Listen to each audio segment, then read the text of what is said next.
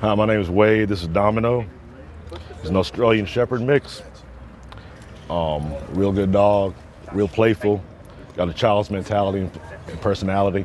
Gets along with any dog. No temperament whatsoever. The way it works, we have a primary, primary handler, secondary, and a, and a third.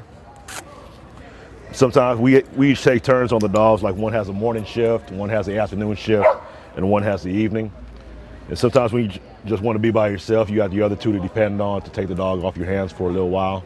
That way the dog always has, has somebody to be with. He knows his basic commands, sit, stay, roll over, shake hands. Loves to hug.